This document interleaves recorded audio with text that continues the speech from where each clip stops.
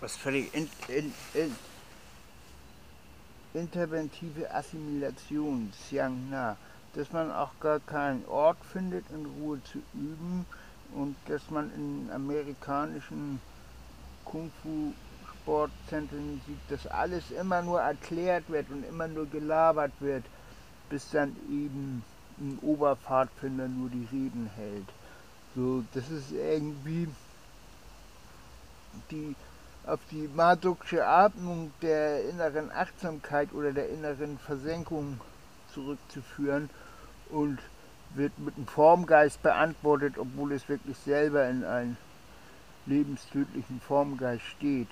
Das ist auch von den Kung-Fu-Meistern in den 50ern, in den 30ern diskutiert worden und äh, kann man nachfragen, wo man will, da kann sich wirklich keiner mehr daran erinnern. Das ist sozusagen richtig ausgelöscht.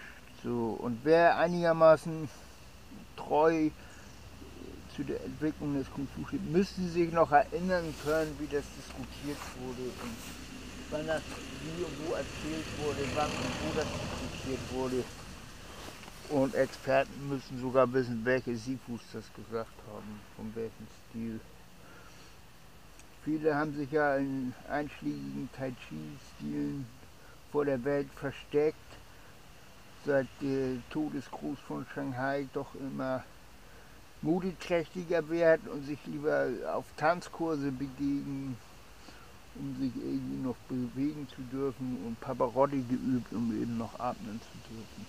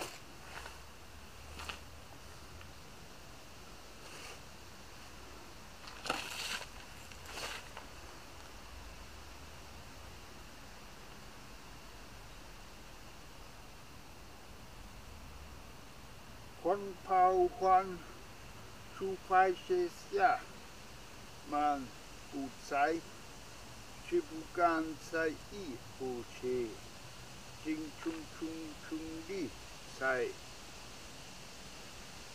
所以，一出会力海些，跑海些，放。one power. One